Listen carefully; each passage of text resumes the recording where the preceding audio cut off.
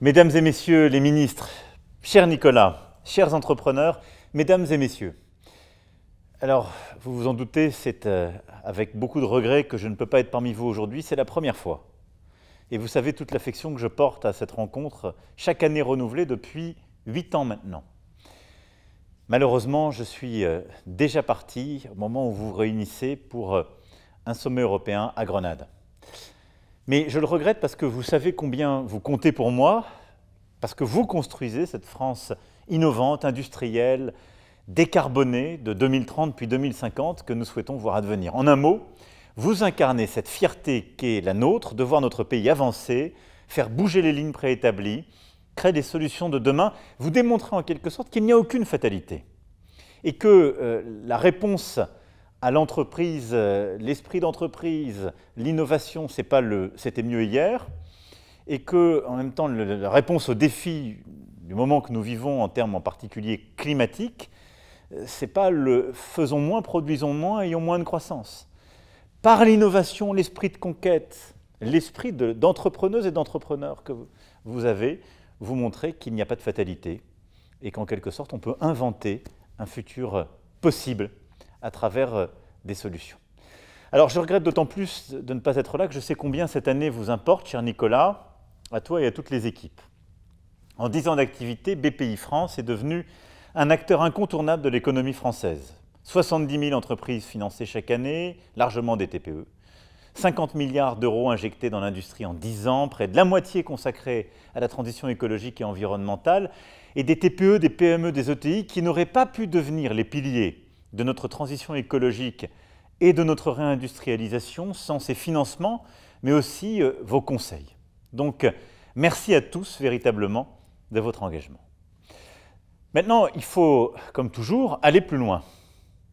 J'étais venu l'an dernier vous parler de cette grande bascule que nous vivions, et je crois que l'année passée confirme la nécessité, en effet, d'œuvrer plus vite, plus fort, pour mettre en place une société industrielle, souveraine et décarbonée, les trois objectifs ensemble. Transition écologique, transition numérique, vous le savez, voici les deux grands défis de notre temps. De la production de biens décarbonés à l'intelligence artificielle générative, vous êtes, pour beaucoup d'entre vous dans cette salle, au cœur de ces transformations. Pour les affronter, il nous faut une profusion de talents, d'audace, d'ingéniosité, d'initiative, en bref, il nous faut des entrepreneurs. Et nous avons besoin de vous, de vos idées, de vos innovations, pour trouver justement des solutions afin de relever les défis de notre temps, pour anticiper, porter ce mouvement que nous nous devons d'enclencher. Et nous continuerons à vous offrir, pour ce faire, un environnement favorable à l'innovation, à la création, avec une fiscalité propice, avec de l'investissement, notamment grâce à la mission France 2030, et en continuant de lever tous les freins à l'emploi. Les résultats sont là, et euh, la BPI France y aura largement contribué. Pour la quatrième année consécutive, notre pays est le plus attractif d'Europe. Nous avons un taux de chômage qui a atteint des niveaux historiquement bas.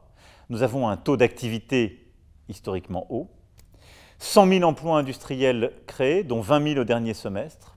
Ce sont ainsi, par exemple, quatre usines de batteries dans le Nord, une production de semi-conducteurs qui va doubler à Grenoble, des start-up du quantique, du nucléaire, de l'intelligence artificielle qui se lancent encore dans la deep tech. Et donc sur tous nos grands objectifs stratégiques, nous avançons. Et j'aurai l'occasion d'y revenir dans le détail prochainement. Une forte croissance aussi des grands projets qui n'ont jamais été si nombreux à voir le jour. En un semestre à peine, la taille des nouvelles usines sur le territoire a doublé, en passant de 80 à 160 employés en moyenne. C'était un des défis qu'on évoquait ensemble il y a deux ans, si je me souviens bien. On parlait en particulier de, de deep tech. Nous y sommes.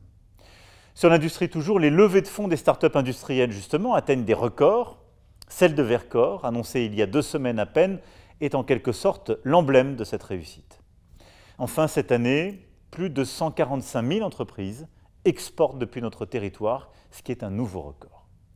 Tout ça, ce sont des chiffres, mais derrière, ce sont des réalités humaines, des aventures entrepreneuriales, et c'est le fruit de notre travail collectif ces dernières années.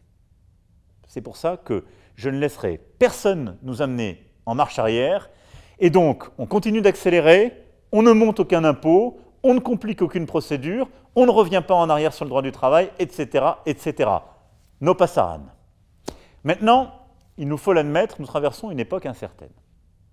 Les incertitudes géopolitiques s'accroissent, en Europe où la guerre demeure, en Afrique où les coups d'État se multiplient. L'accélération des changements technologiques nécessite aussi de prendre ce sujet à bras-le-corps et la French Tech n'est d'ailleurs pas épargnée par ces difficultés. Je l'évoquais là aussi il y a quelques mois encore à l'Élysée avec euh, plusieurs acteurs de ce secteur. Dans ce contexte, notre politique se doit d'être ambitieuse et avant tout de continuer à porter haut et fort une politique de l'offre que nous avons instaurée.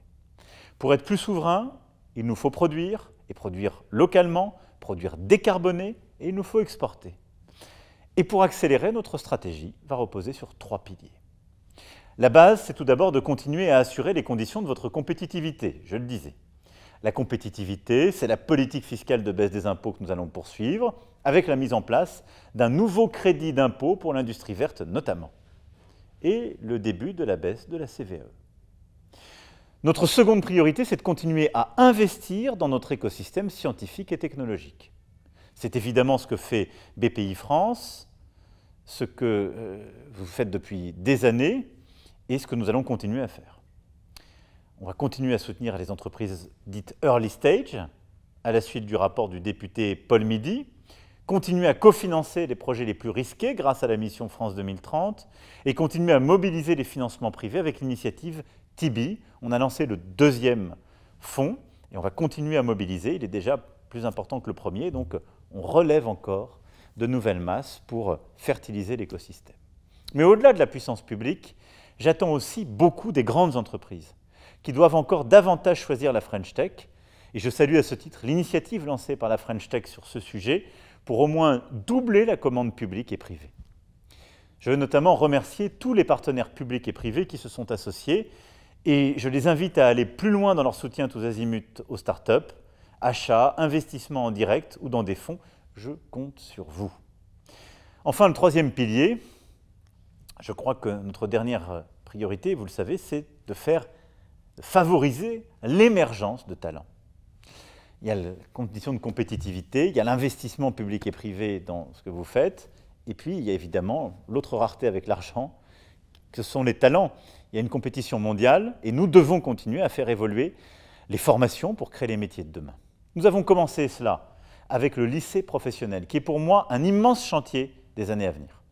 On a réussi la bataille de l'apprentissage durant le premier quinquennat, elle est à consolider, et il faut au moins atteindre le million d'apprentis par an. Maintenant, c'est la bataille du lycée professionnel qu'il faut conduire, elle est essentielle. Mais il faudra aller beaucoup plus loin avec la journée découverte des métiers, avec l'évolution des formations dans l'enseignement et dans l'enseignement supérieur. Et donc vous le voyez, cette bataille pour la formation, c'est la bataille de l'orientation, dès le collège puis au lycée. C'est la bataille du lycée professionnel, c'est la réforme aussi de l'enseignement supérieur et des premiers cycles universitaires, et c'est la bataille de la formation de nos enseignants. Et puis il faut continuer à accélérer sur la deep tech pour atteindre 500 startups par an. Vous le voyez, les défis devant nous sont immenses. Je le crois profondément, les perspectives de croissance, d'innovation et de progrès le sont plus encore. Et c'est un combat qui est essentiel, celui qui consiste à créer, par notre capacité à innover, à monter en taille, à exporter de la richesse. Parce qu'on doit financer notre modèle social auquel nous tenons, l'école, la santé, le grand âge, et on doit financer en plus nos investissements dans la transition écologique. Pour ce faire, il n'y a qu'une solution. On doit produire plus de richesses sur notre sol. C'est le combat qu'on mène ensemble. Toutes ces histoires qui sont les vôtres, ces réussites dont vous témoignez, montrent sans la moindre ambiguïté que notre pays a tous les atouts pour euh, rester un acteur majeur de l'économie mondiale et même par l'innovation, l'entrepreneuriat, la réindustrialisation décarbonée, de relocaliser de la production. C'est ce qu'on est en train de faire sur l'automobile, la production de véhicules électriques à celle de batteries. Comme c'est le cas depuis six ans, l'État demeurera à vos côtés avec un cap clair, avec une détermination et avec un art de l'exécution. Parce que vous savez bien que le cap sans la mise en œuvre, ça ne sert pas à grand-chose. Voilà les quelques messages que je voulais partager. Messages d'optimisme, de volonté, d'unité. Continuez à vous montrer intensif, à sortir des sentiers battus, à entreprendre et plus que tout, continuez à nous faire rêver. Merci à tous et à toutes. J'espère vous retrouver très bientôt. Courage et comme j'ai coutume de dire, ne lâchez rien.